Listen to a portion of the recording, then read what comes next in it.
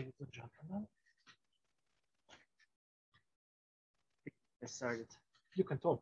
All right. Apparently I can talk. Um, hi, everybody. Welcome to the uh, control room in CMS in action. And uh, the guides for today, let me introduce them to you. First, next to me will be uh, Peter, Peter Everaerts here. He's a compatriot, if I don't. Uh, Yeah. we, have, we got two gold medals today. Yeah. Anyway, exactly. He's, uh, he's a compatriot uh, the, uh, from me from Belgium, but uh, he works at the CMS experiment and he's a, one of our professional guides as we have them. Uh, next to Peter is sitting Zoltan. You'll see his fingers. He's in charge of the whole process. Uh, so if you see his fist like that, you know we The do something man. wrong. What? the guilty man. Yeah, right. And behind us, we have uh, Mohammed and Haifa. In fact, both of them are acting in neutrino physics. Uh, Haifa is not only in CMS, but she's also in Dune and uh, contributed to heavy, uh, heavy neutral lepton studies. And Mohammed is actually looking for heavy neutral leptons in CMS data and uh, we are about to unblind our data soon. So, uh, but uh, he's not allowed to talk about it yet. And then there's Noemi, who is will also help, which is uh, this is another of the uh, the bosses. So at this point, I leave it over to the team here to guide you around. Yeah. So welcome everybody to CMS. So yeah, like uh, I was already said, I'm Peter. I work here as a scientist on the CMS experiment, and I've been here for 12, 13 years. So um, we will actually take you on like a small tour of CMS, where uh, Haifa will basically first show you upstairs, like you know where CMS was assembled, and also the detector on true scale, and then she will slowly go down and she will show you the actual, you know, first electronics room and then the actual detector. So we will have that. So um, yeah, now you start seeing actually Haifa wa- walking around. Uh, so at first, I think you want to show the control room. Exactly. Yeah, so here we're now in the CMS control room. Here you can see us from the back. Um, uh, Yeah, thought it was- start. Okay, Good. So hello everyone, welcome to CMS. And here, uh, as uh, Peter just said, we are in the control room where uh, people, they work on the, the detector, they control the detector and they look uh, for, uh, uh, and they look for a good uh, data taken. As you can see here, uh, we have a shifter that is uh, looking after uh, a good data uh, taking. Uh, note that now we don't have a beam, so we don't have real collisions in CMS, but however, we have cosmic data taken. So we collect cosmic data for calibration and for commissioning works for CMS to prepare for the run three. Here we have the experts area where the experts, uh, we have experts for each sub-detector. So they are here sitting working on their sub-detectors. Hello, Danielle. so yes, this is the control room.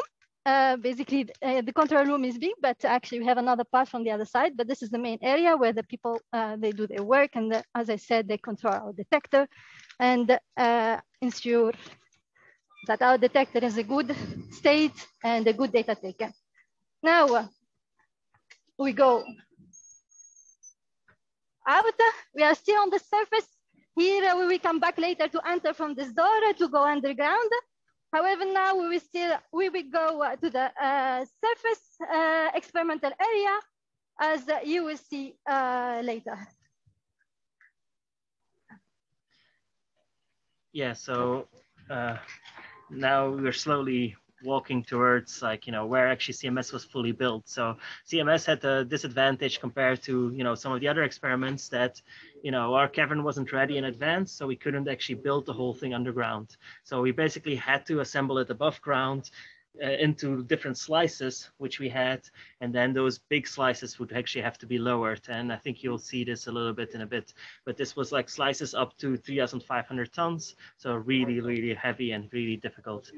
Um, so now she's entering this. Uh, This is in contrast, by the way, with Atlas, who had a cavern Yeah. ready in time. And Atlas is, Atlas is built like a ship in a bottle.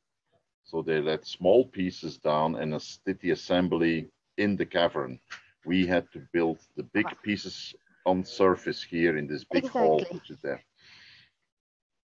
Haifa, go ahead. She might be lost. Yeah. Uh, Okay. This is due to the connection. She's moving from one room to the other. All right. Um, Okay, so you can actually get a Not able to build. Hello. Yes, Yes, we, go ahead. we have you back. You Very good, for a moment. okay. Yeah. So this is the service uh, experimental area where the detector has been built. Uh, actually, it was uh, because it's a technical limitation that they were not able to build this, uh, the detector underground. So uh, what they have done is that they built it here and then they divided it into pieces and then uh, they took each piece uh, through the shaft here. We will see it later in more details to bring down the detector 100 meter underground. Yeah, so if you look there, you can also Uh, see this concrete slab, basically the gray concrete slab. Exactly. Um, that's actually, you know, it's a meter, a meter and a half of concrete, which will slide over the hole so that you can actually move the detector pieces on top of it. Then you Exactly. have the crane coming from the top, which would hook into there. You would remove the ground and you would very slowly move it. the heaviest part was more than 2,000 tons. Yeah. So Exactly. once, once this slab is closed, we call it pit head cover. Once it is closed, we can have parties on. Actually, be used to. And have we here. do. yeah. Exactly. yes. Another thing here to say is that if you see the big picture here, the big poster, and it's actually the real size of our CMS uh, detector. And uh, it's uh, like you, you can imagine the CMS uh, experiment in front of you. It's exactly the real size, which is a very, very uh, nice uh, feature. And also it's, uh, I think uh, you may correct me, Alberto or Zoltan or Peter, that uh, it's only CMS that they have such a poster and such a nice picture of it, right? That- that- that's the problem with Atlas. They are too big to put it on a picture. Ah, yes, indeed. but, but indeed, it doesn't exclude or the validity what Haifa said. Yeah. CMS is the only. Exactly. Right, right, right. Yeah. But by the way, I mean, you're lucky with this visit because you're going to go down actually to the experiment. If you would have beamed, then that's the best you could see from this experiment. That's the picture on the wall there. But uh, exactly. not, not, not today, no beam today. Exactly, but it's it's very good. Uh, it's very good news that there is no beam for us because otherwise we will not be able to see the CMS experiment open. It means that the end cap is uh, away from the barrel. Otherwise, it would be closed, and it's not possible to see each subdetector uh, there. Yeah, but this is You a dilemma. it. It depends on which hat you have on. Mm. Yeah. That's true. so now we go out here in front. uh, It's um, the parking area of uh, our CMS experiment, which, uh, uh, as you as you know, uh, it's uh, in CMS in uh, in Cessy in France. It's actually a very very nice uh, place uh, because it's actually between two very beautiful uh, mountains. Actually, here you can see the Jura mountain here, which is very very close and also we even have uh, uh, a ski station that is very close by. So I mean, uh, it's it's a very fancy and it's very uh, I mean a uh, Yeah. very good location. From Well, this side, yes, please. Don't forget the signs in this uh, exposure. Just, just kidding. Ah Go yes, of course, but it's uh, it's uh, you need both, right? To you need to be uh, inspired, let's say.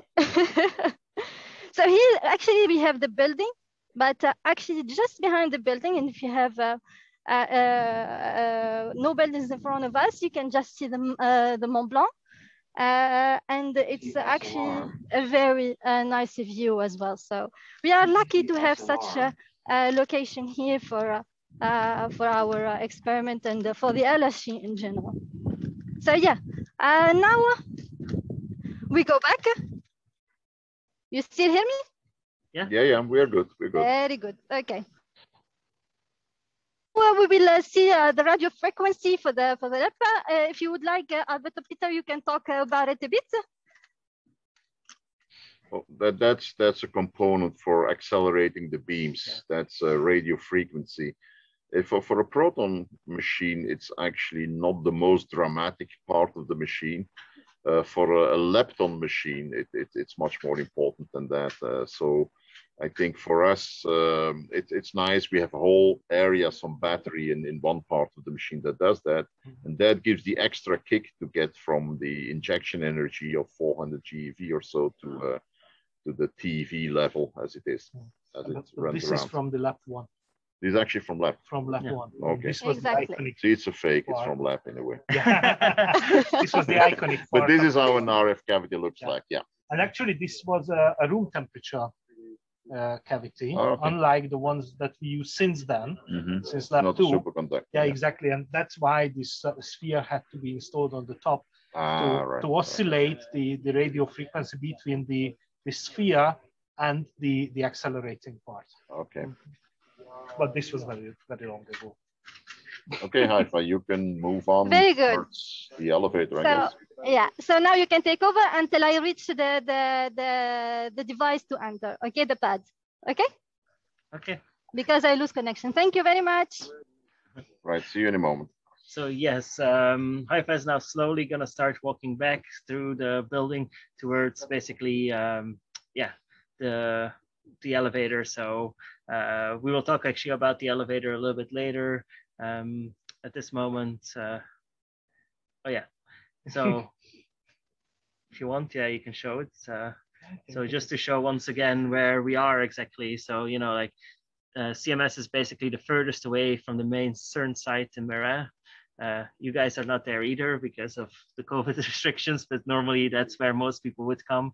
And so we're really at the other side, at the opposite. So that, you know, like there was one experiment which was allowed to be closed, which is the Atlas experiment in the end, and we're then the furthest. It's the easiest to only cross at two spots uh, for most of the collisions. So that's why they're actually basically opposite from Yeah. each other. It, it's it's even more so that that the more symmetric a machine is, the higher luminosity you can get. Mhm.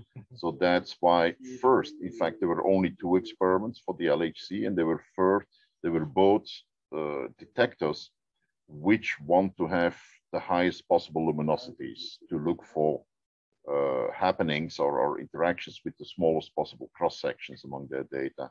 And that were Atlas and CMS. And then um, they had to be opposite of the ring, not next to each other. We would like that because where Atlas is, is the cafeteria, I already told you. So we have to drive 20 minutes. Uh, but that was not optimal for the machine. So the best performance of the machine you would get with experiments on the opposite sides. The other experiments came later, but they don't use uh, maximum luminosities. They, they, they are happy with lower luminosity, so that's not a problem. So still, the, the ring is relatively symmetric for, for good performance. So, uh, I will I will just pass by the by the device uh, to to enter, and then uh, once I arrive to the elevator and we will start to go down, uh, we will lose also connection, and then uh, you can take over again. So now, as you can see, we are- will enter from uh, this device. This device actually will check if you are allowed to enter underground or not, uh, because actually it's not anybody that has the permission to do that. Because actually you need a lot of courses, not a lot, uh, but I mean several courses to be able to work underground, and especially it's for safety reason, because underground there are a lot of uh, high voltage, there are a lot of heavy stuff, and therefore you need uh, to know how to deal and uh, with these things and how to work in such environment. So to do so, we will use our dosimeter, as you can see here. The dosimeter actually has a SIM that will be, that will read, as you can see, that I am allowed to go in. So I will enter. And then also something else to do is that to scan, to scan the eyes.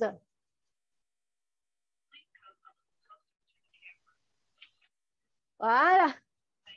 And now I am allowed to enter. So the, this device checked that this is me, this is my eyes, related to the dosimeter, and then uh, they confirm that I can enter and I can go underground. As you can see here, my colleague uh, Mohammed also is doing the same uh, procedure. And May I now he's have a- scanning his eyes. May I have a story about it? The angels Yes, and demons? of course. Angels and demons, of course. we- Okay, yeah. so if you remember the Angels and Demons uh, movie long, long ago, um, they used as well uh, this, uh, an iris scanner. This was a fancy rounded shape, whatever. Actually, we used it for long, Yeah, yeah. for several years.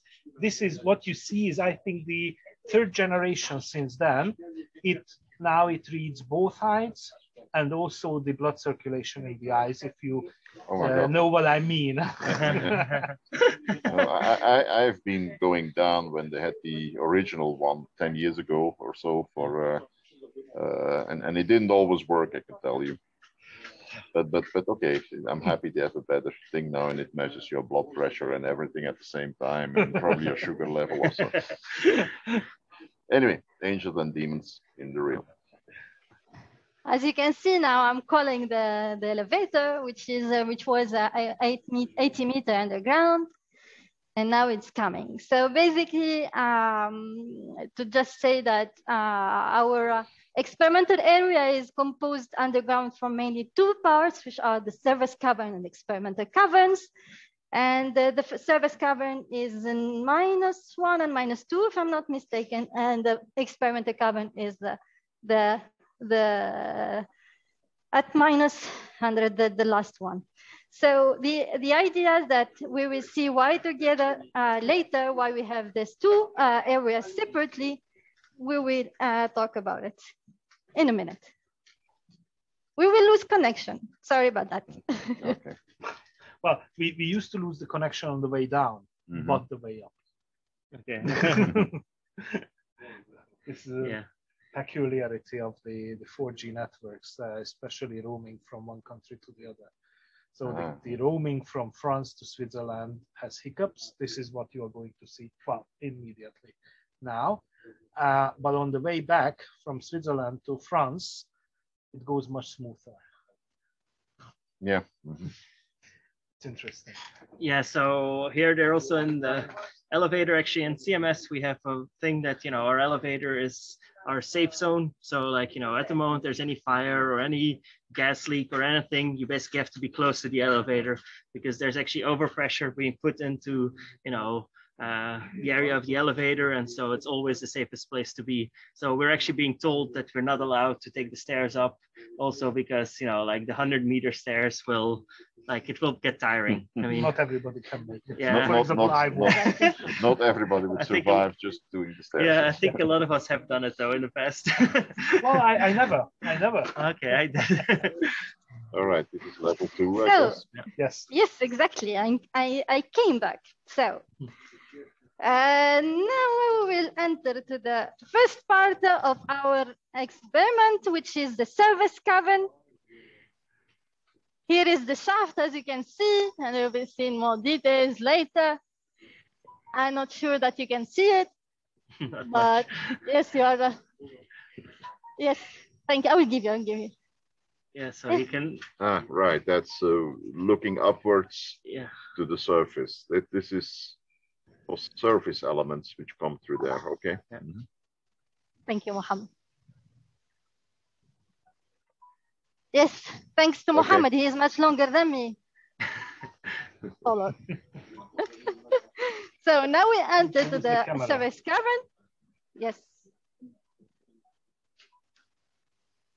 Here is the service cavern. The idea to have two separate areas is because when you have a data taken and you have a beam and uh, where the entrance to the experimental area is not possible, uh, at least uh, we, uh, we, we, what we do, what uh, they did is that they put uh, the, the, the electronics in a different area where they can access in case that there is a cable that needs to be changed or something like that. So they don't have to stop the experiment to change a cable.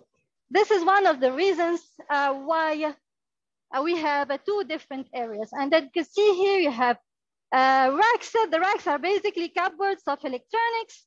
Here we have uh, basically the, the trigger, uh, our trigger uh, system, which is basically uh, uh, the, the device uh, to decide. Uh, here we have the detector safety system.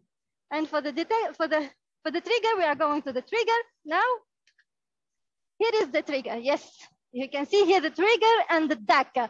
So the trigger is actually a device that tells you and decide whether to keep uh, an event or not from uh, collisions. And DAQ is the data acquisition system. For our trigger, for example, is composed from two different, two main uh, parts. Actually there is the level one uh, uh, trigger, which is the first step of the trigger, which actually has a rate of uh, 100 kilohertz event in about in less than four microseconds. And also then, so then we have a, a 100 kilohertz, and then we have a, second level of the trigger, which is the uh, high level trigger, which actually uh, ends up uh, with one kilohertz event as rate, which actually decide on the events after running a full but a fast reconstruction, full reconstruction events. So yes, so our trigger system in a summary is composed from two different uh, different subsystems. Here uh, you can see uh, different power supply. Here, for example, we have the power supply of one of our muon chambers. And actually it's one of the muon chambers that Peter is working on, which is the GEM, the gas electron multiplier, which basically you can see it here. I'm advertising your detector, Peter. Yeah, exactly. yeah, we only have halves installed because there's only one part which is installed now, and the rest will be installed in a few years from now. Exactly. Yes. so it's partly a part of the upgrade. Yeah. And I also worked on. I printed the stickers. Okay, so Zoltan as well.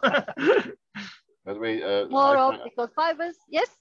I don't know if you're gonna say that, but um, for the the second trigger you talked about, which is the high level trigger, uh, the most important component is sitting up here above our heads here in the control room, which are the uh, computers which are being used exactly. for um, yes. uh, for that. So the data is taken 100 meters up in these computers, and I don't know how many there are, 1,000, 2,000? Yeah, so, so the the, the pass through of the level one is is 100 kilohertz. Yeah, but yeah, but the, the, the number of processors. 15k. What? 15,000. 15,000 CPUs. Yeah, CPUs. Okay. So. 15,000 CPUs it is. You know, last time I left it was 2,000. Now it's 15,000. So things inflate. Anyway, so the which you need to decide, just to decide whether we want to keep that event and store it somewhere.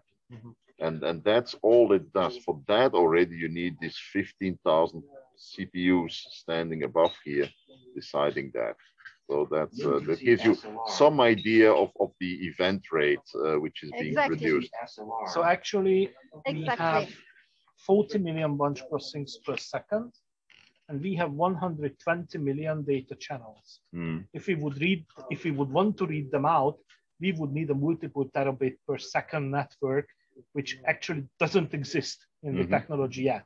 Even if we could pump it up, we wouldn't have technology to store it. Right.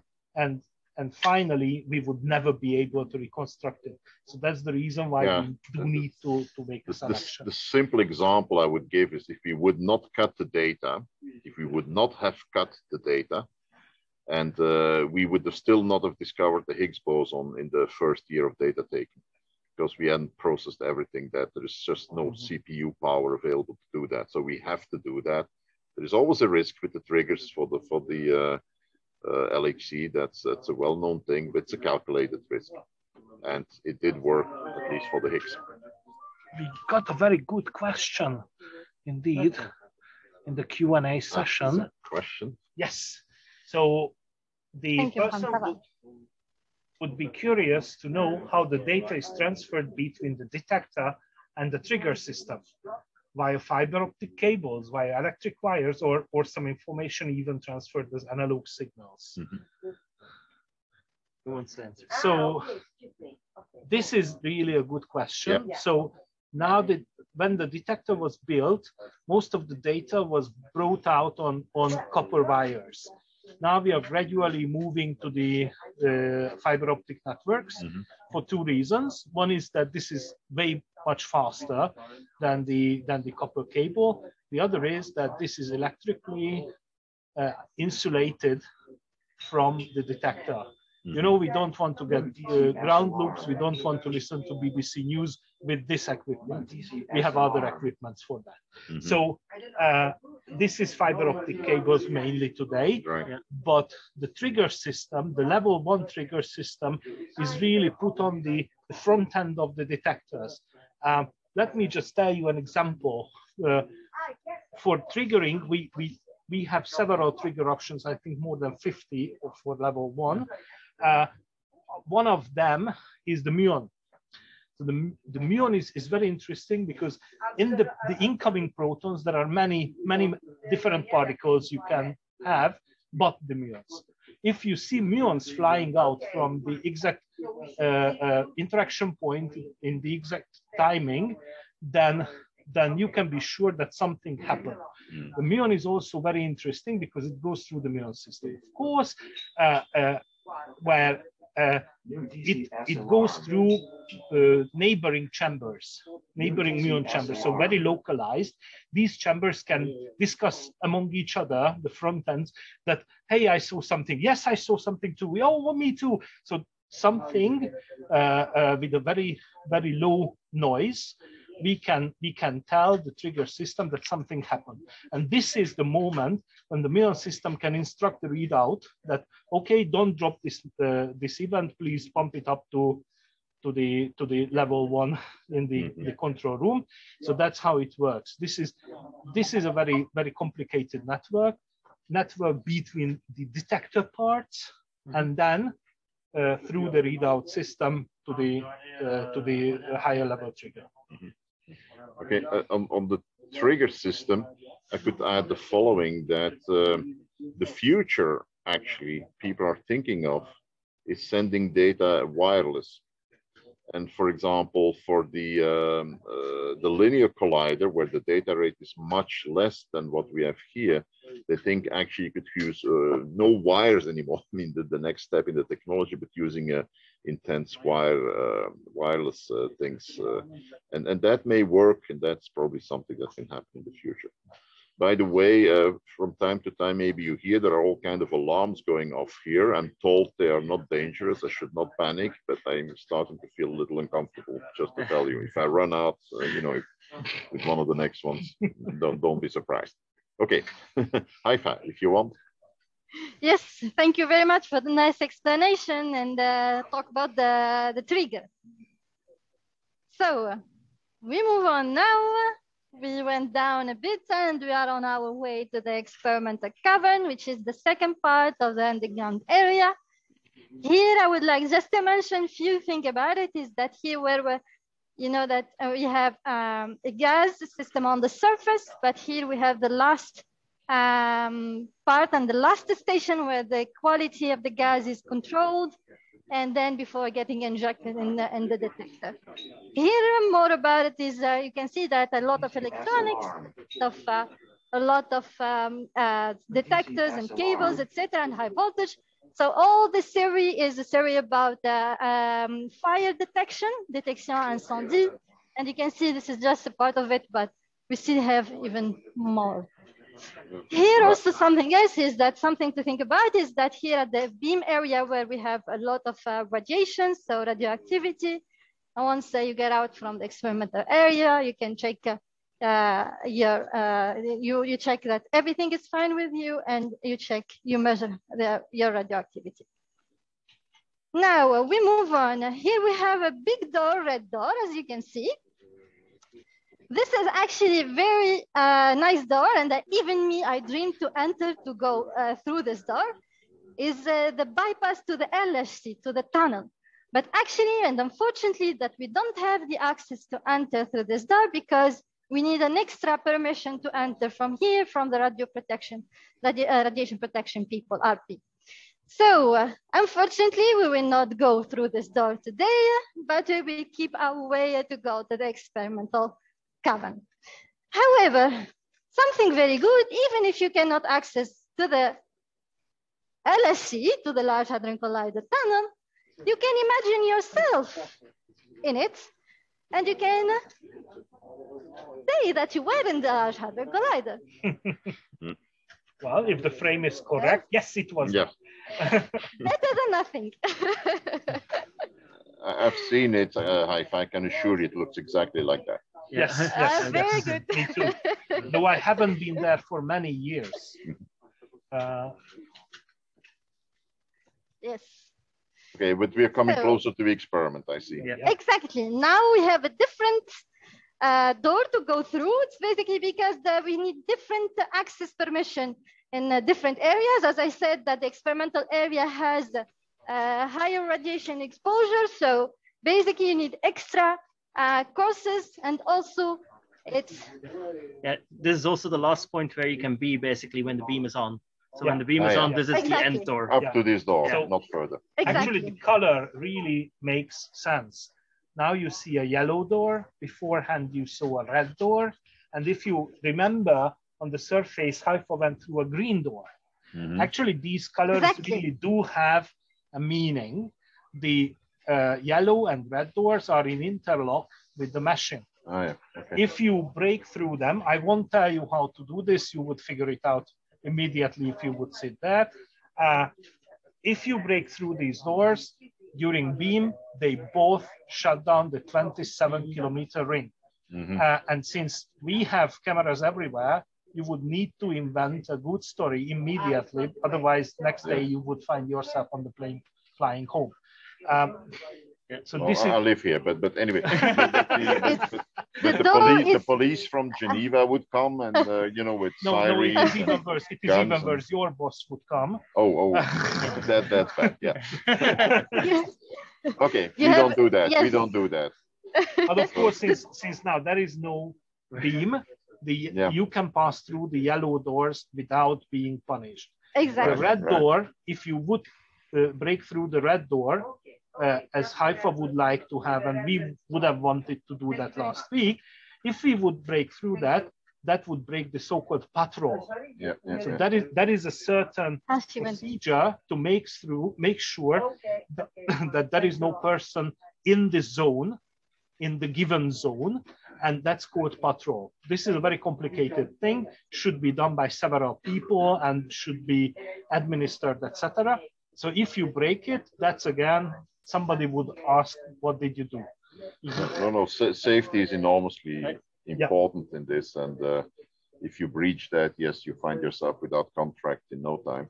Uh, but uh, I think they never had a real bad accident at CERN so No. far. no but Since actually in 60 years that we exist already. exactly but in, in the history of physics there was Oh such yeah, an yeah, acc- yeah, yeah, yeah. I know, I know. uh, but, But CERN- not at CERN. Is not what I mean. CERN. So and CERN is very keen on not to get on the front record, page yeah, of the yeah, yeah, newspapers yeah. because of this. Yeah. yeah, not, not all good. All news is good news. for Yeah, us. exactly. now we're gonna go to the detector. So I think everybody's excited to go through this Exactly. door. Oh yeah, that, We're, that's why we we're talking curious like what's this. behind the next door. I find you're gonna reveal that to us.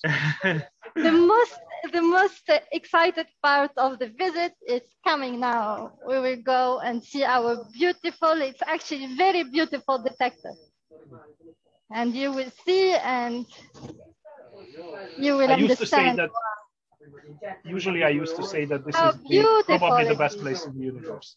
Exactly. It's actually it's very beautiful and it's actually real. I mean, what you see Behold, behold CMS. exactly the, the colors and the, the harmony between the colors and the size and the, it's just uh, majestueux on the, we say in French. So Right. it's uh, really very beautiful. Yes. So what are our visitors seeing right now? they are seeing here we have the barrel of our detector and uh, actually Barrel, let me yeah. get close yes the barrel let me get close to the closer to our detector Let me just just make a, a technical here- remark. yes Uh, Haifa was just up to 10 seconds uh, beforehand. Uh, this is called the visitor platform. That's where we Yes. used to, to allow visitors to, to go on during peacetime. However, the virtual visit is allowed to go virtually everywhere in the detector. Exactly. And that's what Haifa is doing now. So mm-hmm. that's the point where it will diverge from an ordinary visit. So exactly our, thank you our- zoltan just to say will- something Our Sorry, guests will Albert? see more. Our guests will see more than what they would see with their own eyes if they would be down there. Indeed. Exactly, And- exactly. That was Actually, just the we- five second advertisement of the virtual Yeah. So there is a question. Actually because because we have the permission to do so and we have the courses to enter this area something uh, uh, that is very important to say is that our first rule in CMS is safety. So uh, Uh, safety right. of the people and the visitors is uh, our first rule uh, for work and uh, and yeah. Uh, Haifa, Haifa Yes. saw there was a question, maybe Please. Claire, uh, what, what, what was the question in the chat? We have two questions now. So the first question uh, by Viet uh, says, asks, how much is this beautiful detector? How much does it cost? Cost, the price. I think so. I like- priceless. Oh, that Ah, that is was like uh, It's priceless. six, yeah, it, first of all, for us, it's priceless. Uh, for the taxpayer, however, it is um, something like 600,000 uh, or Swiss francs, I would say. 600 million. 600 million. million. Million. Yeah. Yeah, sorry. Yeah, it went Million. up. Six hundred million also- hundred and also million the- of, the- um, it's, it's about, typically for, for the detectors, it's about ten to fifteen percent of what the whole accelerator is costing. So, and Mhm. that is what we are in. In fact, it was, it was capped on five hundred million, but that was before inflation. Uh, long, uh, by the committees and saying it cannot be more expensive than that. And we spent every centime that we were allowed to spend. Yeah. And then, of course, came some overspending. So six hundred million. Yeah, and, and you also have that not all the person power is counted. I mean, you know, like PhD students and stuff are not all European counted. counting. It's, Yeah. it's pure material. It's only exactly, materials. so- Exactly.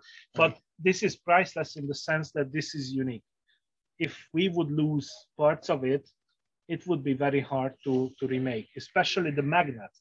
We don't have a spare of the magnet. Mhm. So that's why it is priceless. Yeah, we, we shouldn't I break that. can. And yes. what, what, there was a second Concerning- question, Claire. Uh, Yeah, well, we've got lots now. So um, uh, Nile asks uh, about sensor and readout electronics chips. I'm not entirely sure exactly uh, what that's referring to, but I must, I guess that it's, uh, you know, where do these chips, where are they in the detector? Maybe that's, maybe that's where the, what the answer is. It depends. yeah, I think a bit everywhere, but that's. uh, Uh, Yeah, exactly. It is everywhere. Uh, in, on on the front end of the front end electronics of the of the individual detectors. So it's almost everywhere in the detector. But also we have custom made chips and uh, ASICs and also FPGAs outside in the the service cavern as well. So Mm. as Albert so- uh, uh, told, everywhere. Great. Um, Um, sorry, continue. Yeah, go ahead. Go ahead. I I have an answer for for number one as well. Oh, okay. Uh, well, so David asks, uh, does does sometimes something like a screw or something fall down in the detector? Yeah, And the we, we lost we lost a scissor two weeks ago in the in the Oh. back tank. well, uh, of course, then then we recuperated uh, once the the scaffolding was removed. Um, um, Noemi had a, a, a nice wristwatch um, at somewhere in the muon system. still there. during- The still muon there system. during the last 10 years. Okay. Yeah. We never found it. This is somewhere between the racks, uh, somewhere hidden uh, in the in the cable trays. Yeah. Uh, fortunately, it doesn't make any harm, uh, except the thing that she got it for the for the graduation. Um, yeah. So I also When in it's- 2040, she can get it back when we start Yeah, dismounting. maybe.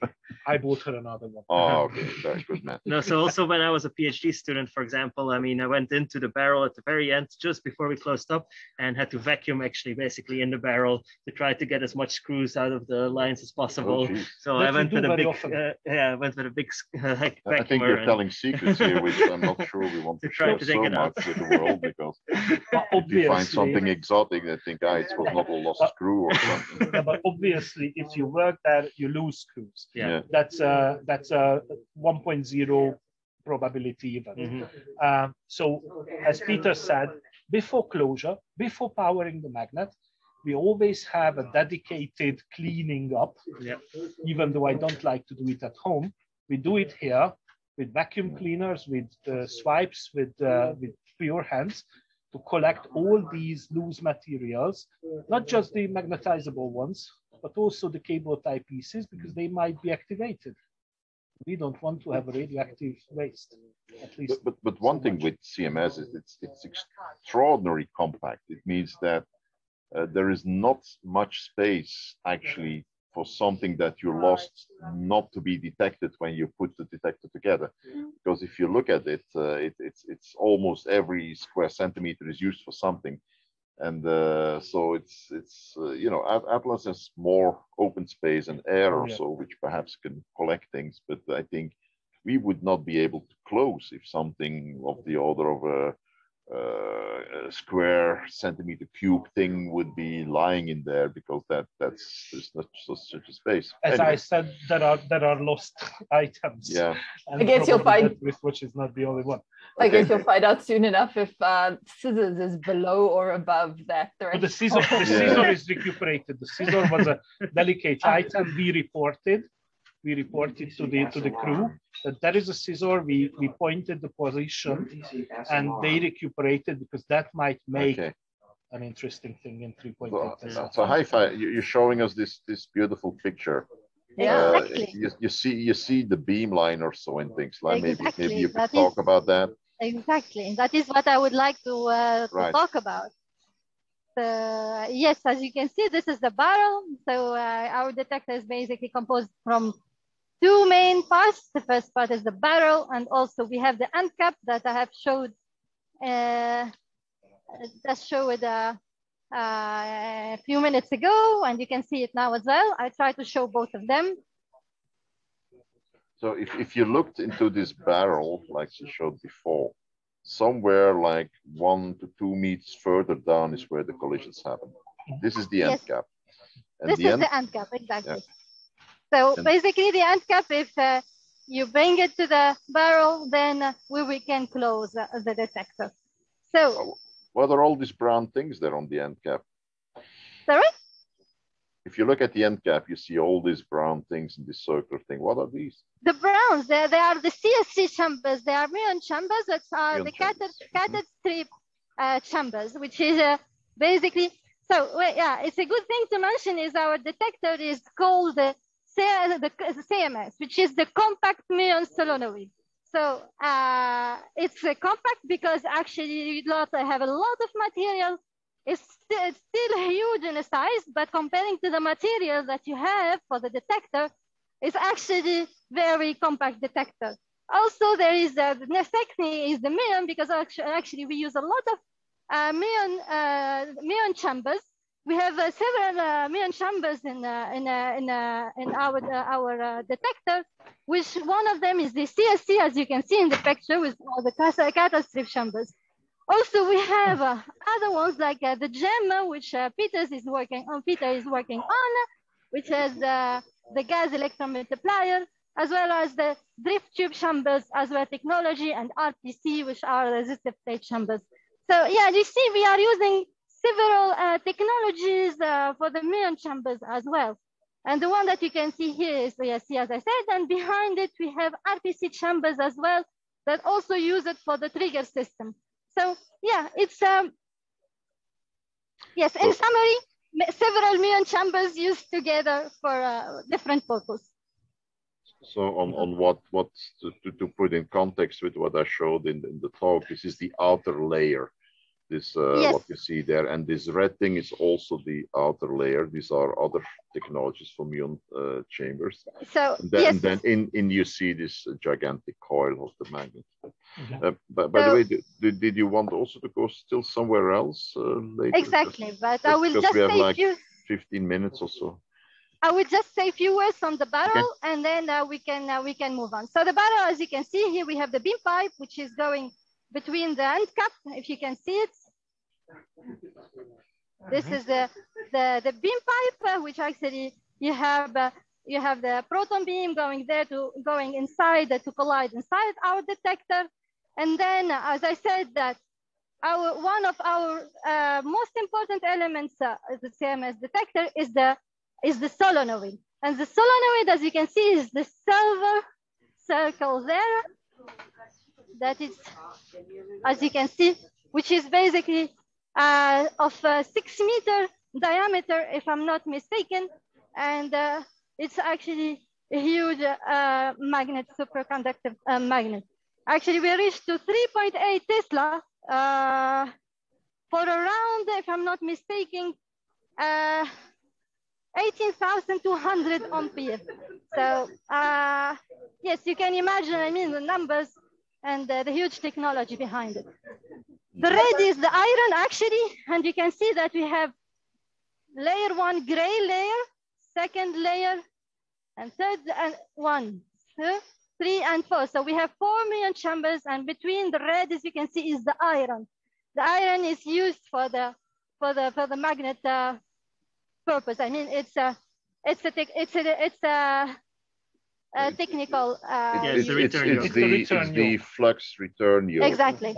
Because Exactly. the, the magnet is, is so strong, it's it's almost four Tesla, that if Exactly. you if if that would not be there, we could not even keep electronics of any sort close there because the magnetic Yes. field would just destroy it. And if you would come in the room with something in metal in your pocket, you would be swung to to some side. So That's it, it actually damps the magnetic field leaking out of the detector. This is how you should see it. Yeah. It, abs- it absorbs the magnetic flux Yeah. to a But, large and that is extent. also another. Well, Well, and even nowadays, I mean, even if you see now, even with all this absorption, and then if you go to the surface cavern, which is another 10, Mhm. 50 meters further, you still like really notice that if you try to open any of the metal doors, it becomes very hard to close them again. I mean, you can really Exactly. feel the magnetic field even there, even if it's Yeah. like distance squared, that this like goes down. But if we are at this view, let me just remark that this iron yoke was designed such a way that it makes a magnetic field, well, it confines the Mhm. field such a way that, that everything in this yoke operates at a, a iron saturation magnetic field somewhere around two Tesla. So it means that it makes a homogeneous magnetic field in the, the muon system, which is very important for the muon spectrometer and very important for the good muon momentum measurement in CMS. Atlas is different because they, they use a lower magnetic field. They have to, to, to they have to let the, the muons fly longer in order to have the same deflection of the uh, of, of the path. But since the Atlas is, I would say, lightweight with respect to the CMS, there are beams that are that are holding the structure, the beams collecting the magnetic field within themselves. They have a very inhomogeneous magnetic field. They had to measure from point to point in order to maintain their, their, their muon spectrometers high performance. Uh, these these two muon spectrometers, by the way, the best muon spectrometers that has ever been built. Uh, in the Atlas, the, the uh, systematic error of the muon momentum measurement is mainly coming from the imperfect knowledge of the magnetic field from point to point. This imperfection is very small, by the way, so they are very, very precise. Uh, in our case, since we have lots of material, lots of iron in the path of the muons, we might have a situation when the muon just bounces off from, from an iron uh, uh, nucleus.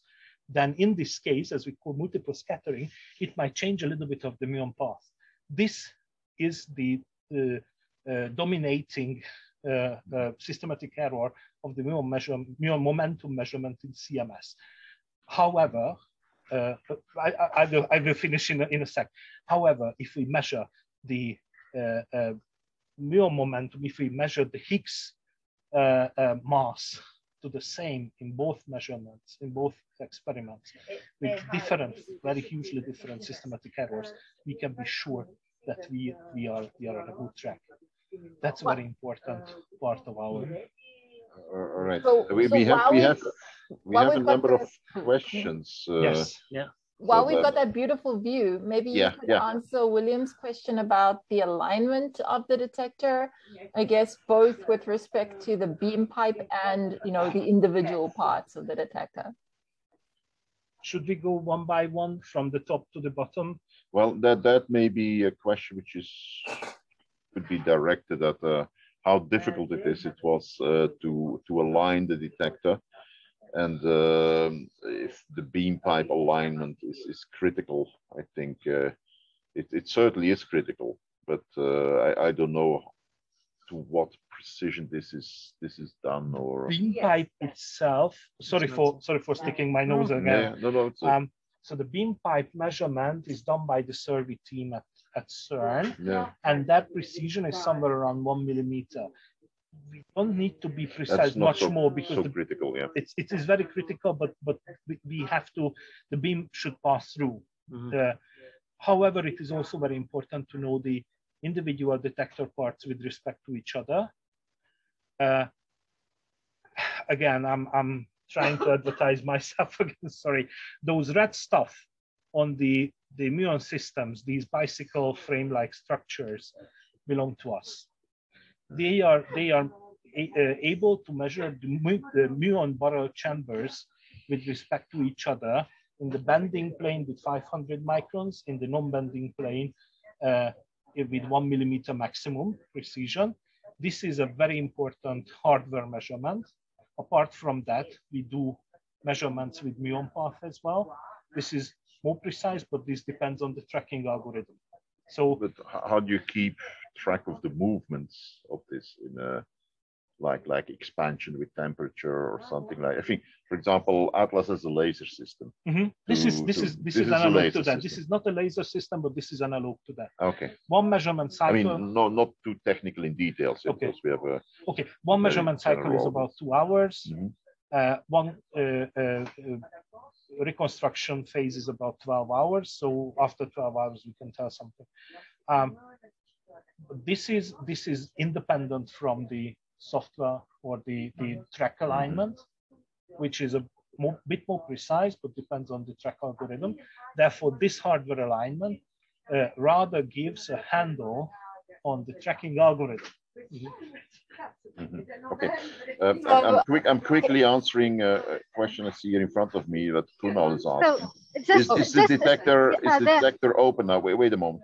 Is the detector open now? Yes, this is an open detector now. Normally, this end cap moves in and it closes, and it looks like a red cookie box if you see it when it is closed. Yeah. But now it is open. Yeah, you can And that- see how this nose would go Yeah, yeah. perfectly in there. until Uh, next week or, or the week after early, Uh, when this side we are going to close. Okay, so you're you're in time with this school. If you would have been a month later, it would be closed. Um, exactly. The other And- thing is, uh, Haifa for you. A question is, how loud is it there in the hall? Do you have a lot of noise there right now? It's it's actually uh, honestly uh, it's loud. It's not very very loud, but it's loud. So Okay. uh, it's acceptable, let's say. But but this is this is mostly cooling systems, I suppose, which are making this noise, right?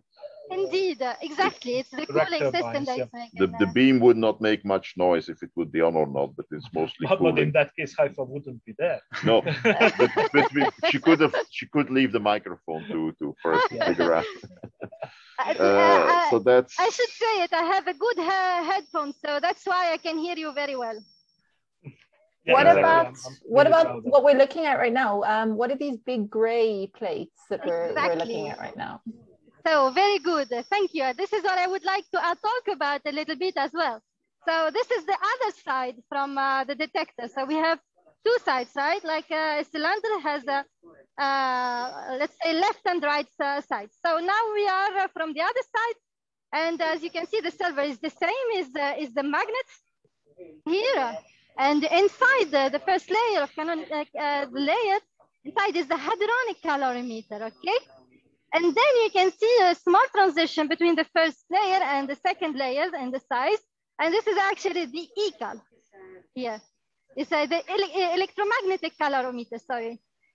And then at the end, after uh, uh, closer to the beam pipe, where you can see that uh, you have a brownish uh, uh, circle and a little bit of the gray as well. Sorry, here you have the brownish and a little bit is actually a tracker system, which basically uh, composed from two technologies, which are the strip and the pixel uh, layers. So yeah, so uh, the detector is really uh, full technology. We have the tracker, electromagnetic calorimeter, hadronic calorimeter, and then we have the solenoid and the muon chambers uh, outside, the last layer.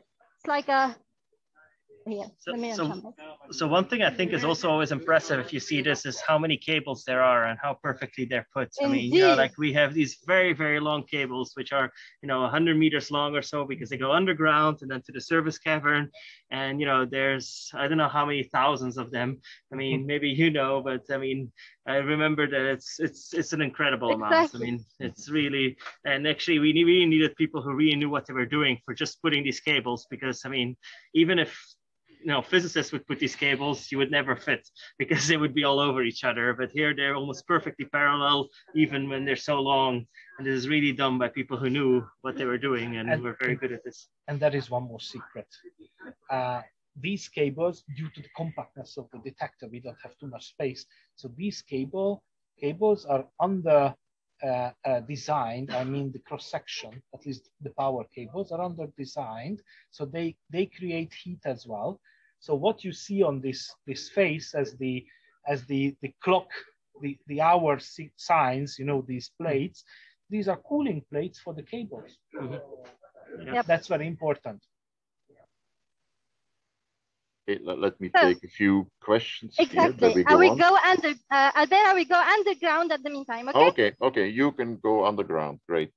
Okay, we had this view that we come clear. So, uh, Kunal asked, is, is the detector operational now? Well, not right now, but as you heard, we are closing and then it will be operational. In fact, uh, we are taking runs, at least with the barrel detector, as far as I know. Well, even the end caps are taking Even in the end caps, yes. Uh, taking so, cosmic rays. so it, it- it's operational. Why do we open? Uh, typically, we open if you want to fix things because the only way we can access uh, parts of the detector in the inner part is by taking the end caps away. If there's a real serious problem, we would have to open more and we would have to move the Mhm. rings around, but that typically we don't Yeah, have to and, do. And so now, for example, also, you know, some of these muon chambers were just installed like in this bit Yeah, long shutdown, right, and it's one of the right. reasons why we were open.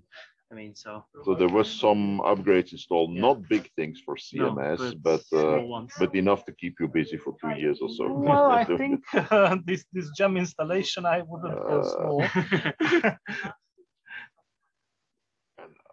Overlap, like fine. So- So here's an interesting question. Will the experiment, or I suppose the LHC, shut down if there's an earthquake? yes. Oh yeah, it, it shuts down even if there is lightning. No, well, Or a train?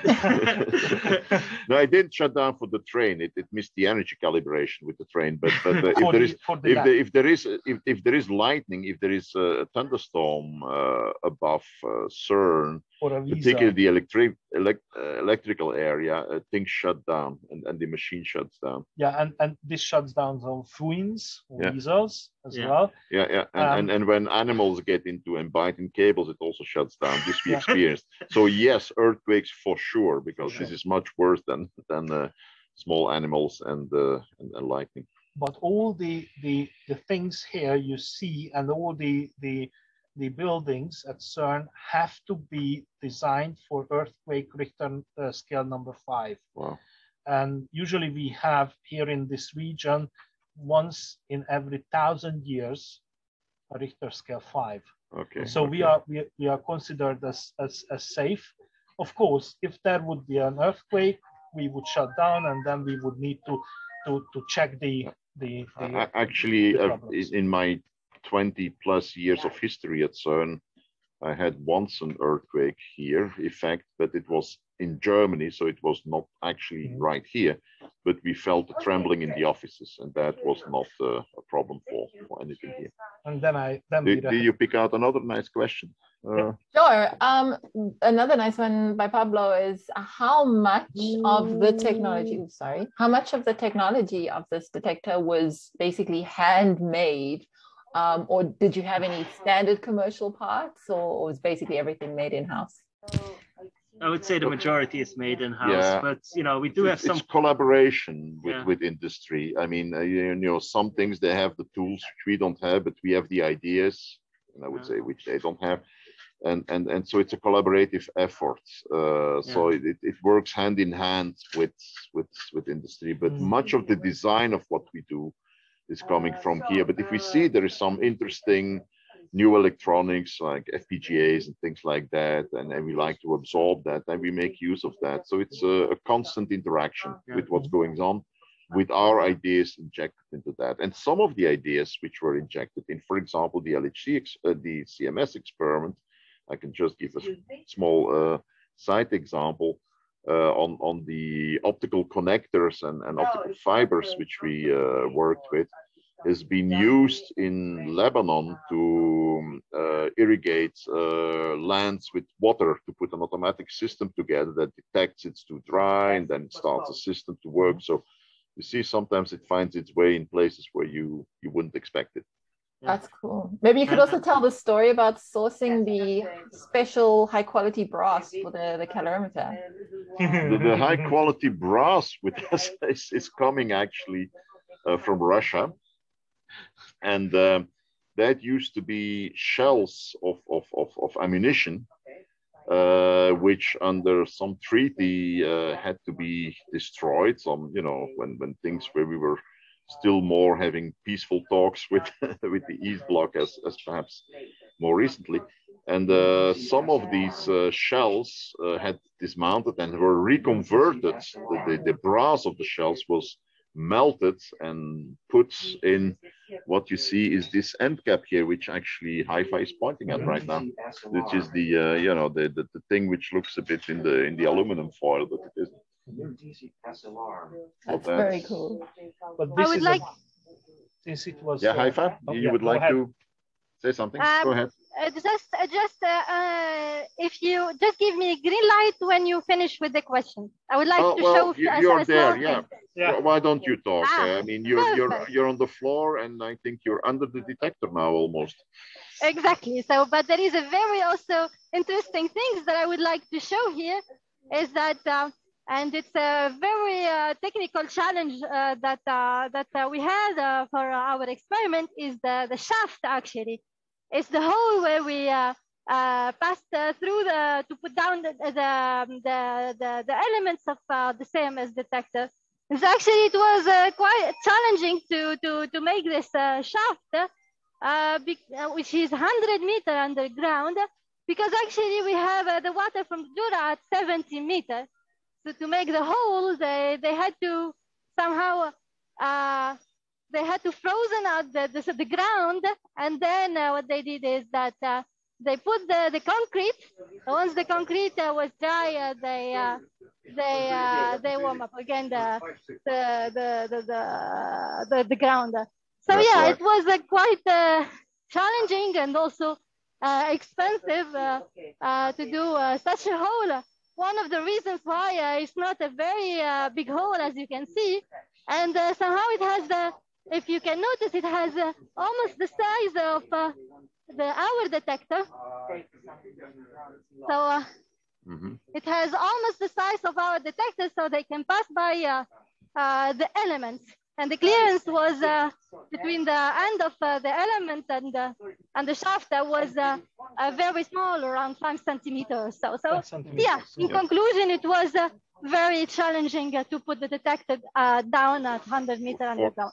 Fortunately, this, the, the the shaft is not almost the size, but a little bit bigger than the size of the elements. Otherwise, we couldn't have them. Yes, each, each side. But, Exactly. but sometimes you have only like centimeters of, of, of, of clearance between them. And that's also why the heaviest component, when they lowered it, it took basically a whole day to lower it just 100 meters underground from the surface going down. Because every few centimeters they uh, lowered it, they had to wait to see that there are no oscillations happening uh, with, with because this was hanging on cables on the crane because if they would then lower it again, it would oscillate more, it would hit the wall, and then the whole thing collapses, and we lost our magnet. But that that did not happen, fortunately. Okay, Haifa. So Haifa, you're can- running under the detector now. can you also show the feet of the detector? At the To feet. show- Exactly, indeed. Okay. Yes, Pieter, thank you. I'm going there. Yeah. So, yes, here are the feet of uh, our uh, detector. As you can see, here, this is what we will use uh, to the AirPad as well. The AirPads, uh, actually, uh, we use them uh, to move our end cap to get to close the detector here. So we move it slice by slice. And actually, what we what we do exactly to move the detector is that we uh, pipe air here, as you can see in the in the pipes, in the in the orange cylinder, and uh, if I'm not mistaken, you can correct me, is around 20 atmosphere of uh, of air to be able to move uh, our end cap, which is about uh, uh, 15. Uh, uh, 1500 so uh, of, uh, of tones. So yes, so uh, I hope the numbers are correct as far as I remember. So yes, I think these numbers very, are correct. Very good. Thank you, Zoltan, for the confirmation.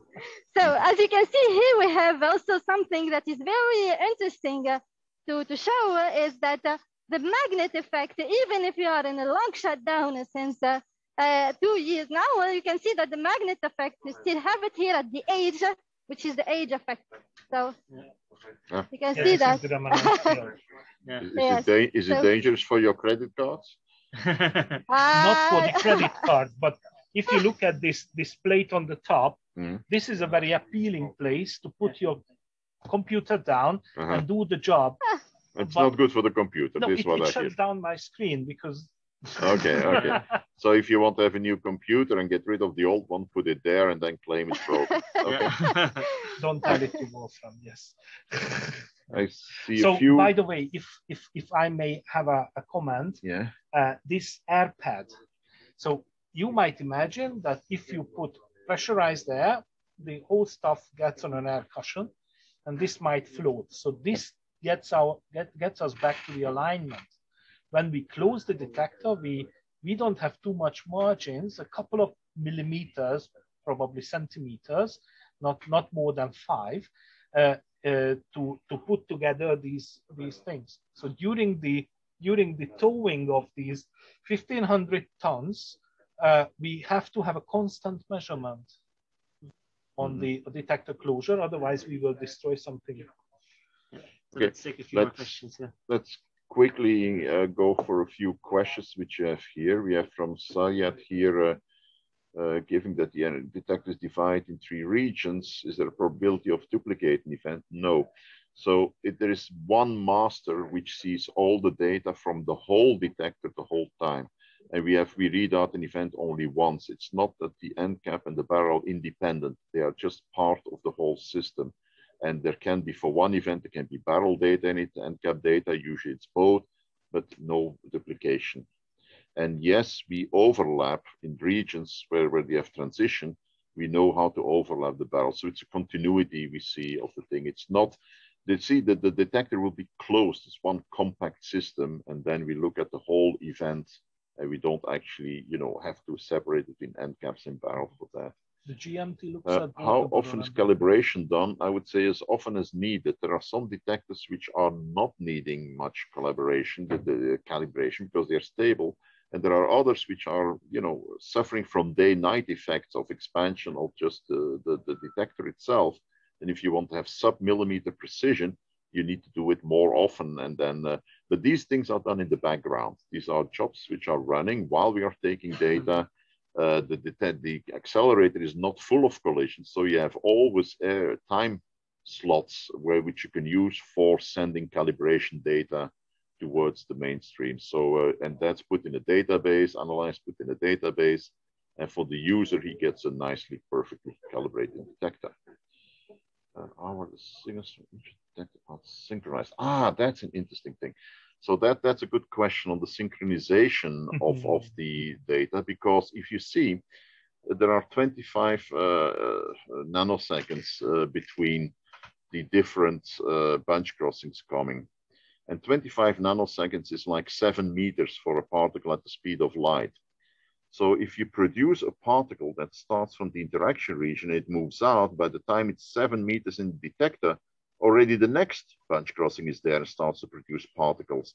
And so you must make sure that the detectors on the other side realize they are dealing with something that happened maybe one or two bunch crossings ago.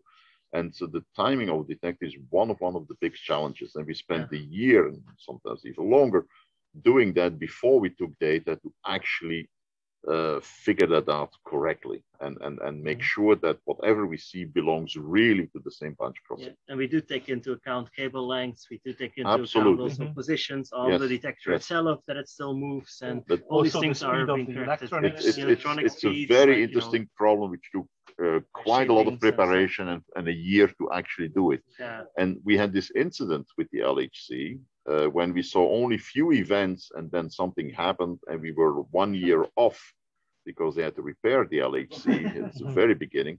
But these data which we had from that incident were of enormous value to help to check the timing of the whole detector. So it was not a lost year, if you want. What is the temperature uh, in the area? Are there changes? Uh, It's around 20 degrees or so. 20 degrees. Yeah, where okay. Haifa Yeah. is. But in the, the magnet, it's 4.2 Kelvin. Yeah, the in the magnet is tracker I at know. minus The ambient. But but but she they mean the ambient, I, think. Uh, uh, and then, yeah, so ambient. I know ambient, of course. I know Right, ambient, of course. So, please. it's, it's, it's it's it's a comfortable it, it's a comfortable time to Yeah. to the I mean temperature to do a visit. But you do keep all these parts of the detector at a specific temperature Exactly. as well, So because that's- they all that's have their the own Exactly. Right, operating right, right. They are more they operate more optimal under certain conditions, Exactly. like the tracker has to be cooled, for example. And uh, okay, Minus 20, I think, the tracker, right? Zoltan? That's yeah, yeah, minus 17, 20. So actually, this is very important since the, the individual detector parts are operated on different temperatures, mhm. the temperature barriers between them. And actually, you know that if you go from a, a, a warm to cool, you, you might face the condensations as well. So we have to, to, to face to them as well. This is, this is really a technical challenge. Uh, outside in the cavern, of course, we keep uh, room temperature somewhere around 20, but the most important thing is the, the detector parts where we have uh, point-to-point different things. Also, we have to cool the electronics. We, I, if I'm not completely wrong, we use something like uh, one or two megawatts for cooling only. Wow, okay.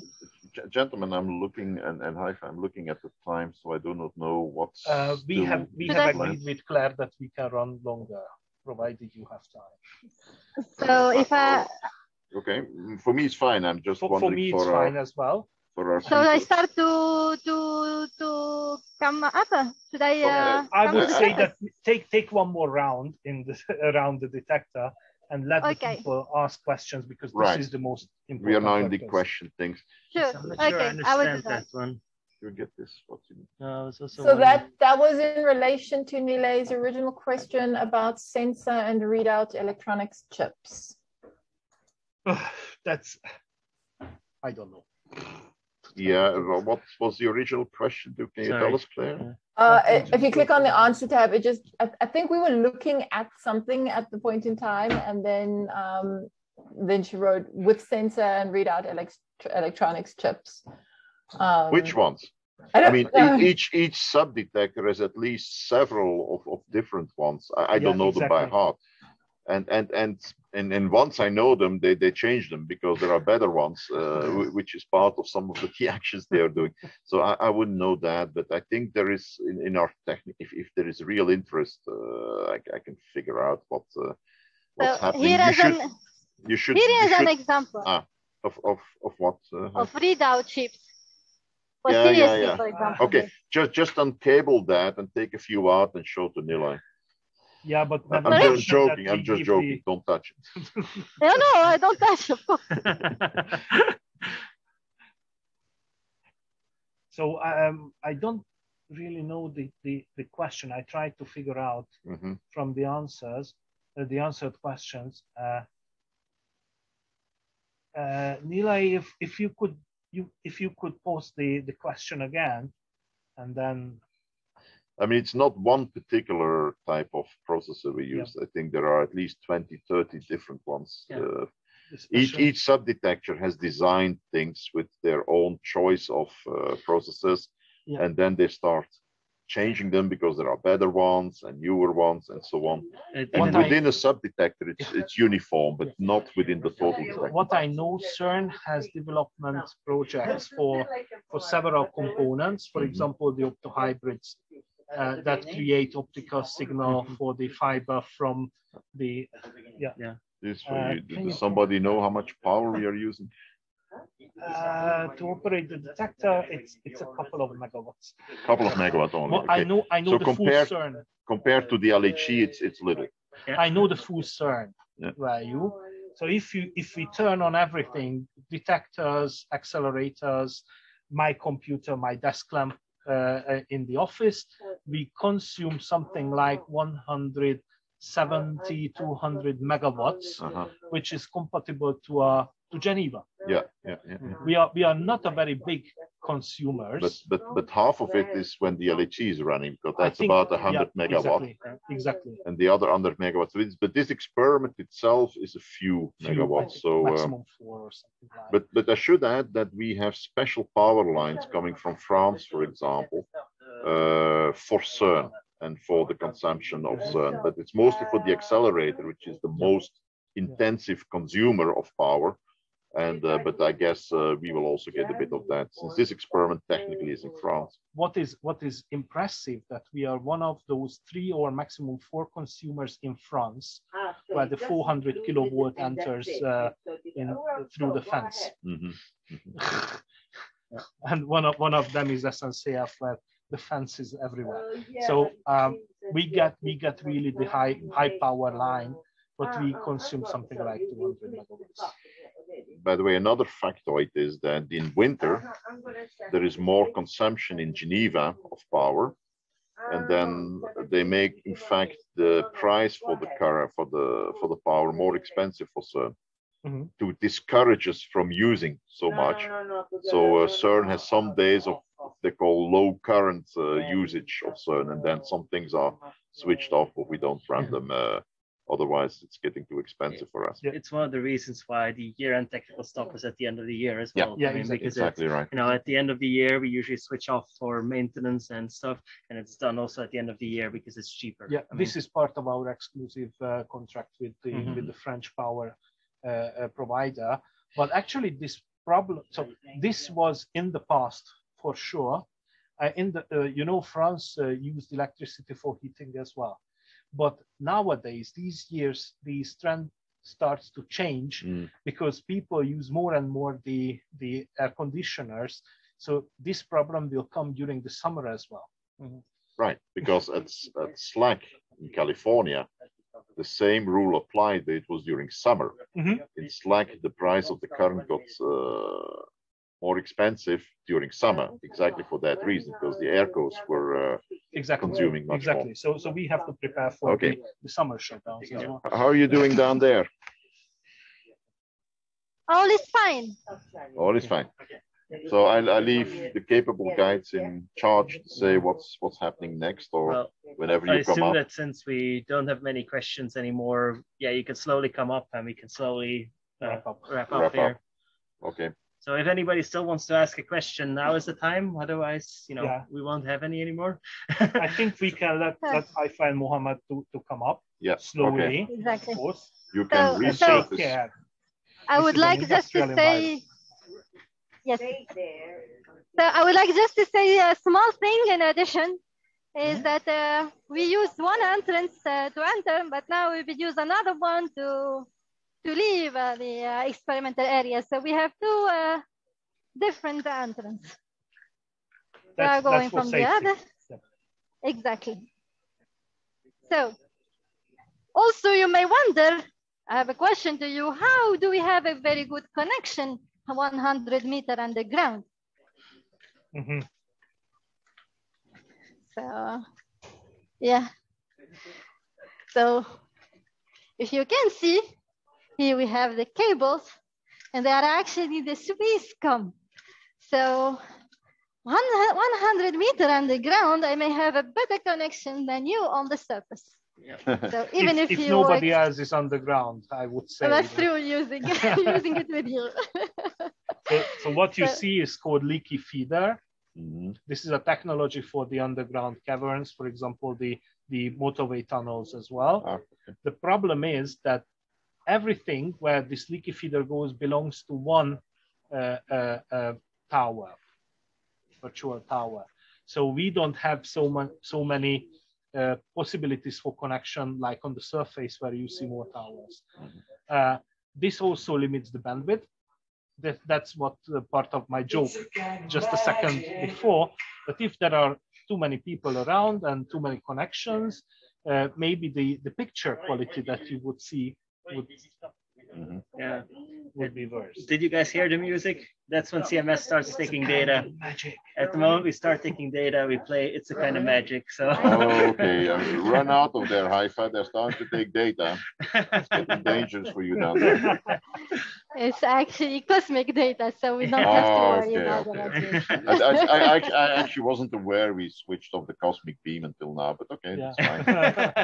that's fine. well, this will, this will is- make the workload bigger. Yeah, yeah, yeah. All right. so So, we will start to to come Right. to the control room. Mhm. Yes, okay, please. good, good. Uh, Claire, how are you on the questions? Do we still have some questions out there for us? Uh, no, no new ones. Um, Nilay, if you do want to re-ask uh, your question, then feel free. Uh, but we don't have anything else uh, in the meantime. No, nothing on Mattermost or so because we don't look at that. No, I think everybody's actually, you know, Uh, the using Q&A, the, okay, the Zoom Q&A, Q and A yeah, for now, which is great. And you know, people, if you have thought, if you if you think of something afterwards, uh, absolutely feel free to write in the Mattermost or come up to Albert uh, during one of the Wonder Me sessions as well when he's around. I will connect directly. and tell the- But I will not be surrounded by experts, so uh, you know, may not be. This is definitely the best time. All right. Okay. No, So Good. all right. So yeah, do we close off here or do we wait for them? or, or should we wait for Haifa just to, If to if say you goodbye? want to see them reappear with us, then Yeah, I uh, think then that would be Yeah, nice. be nice. That's then we wait. Yeah. So, uh, if I may take the time Mhm. for the calibrations, uh, Albert mentioned the that calibrations might take place when there is there is collisions, but there is no beam in the bucket or, or protons in the bucket. So uh, there are some some buckets that are kept free, kept uh, empty in the in the CERN in the LHC uh, filling schema. This is due to the fact that we might. Um, I'm not needed to be seen. Uh, this is this might be due to the uh, the the fact that we have to sometimes deflect the beam to the beam dumps, and of course we don't want to operate the magnets or energize the magnets when there is beam in because that, that would uh, make it very much radioactive. So uh, uh, magnets turn on when this abort gap, as we call, turns over there. But the abort gap goes around the, the LHC. So sometimes it appears here as well. So that means that we have gating, but there is no collisions. And that's the point where, for example, the ECAL is calibrating. They have uh, four very strong lasers, uh, and the, the laser beams are directed to the each individual crystals, 77,000 crystals.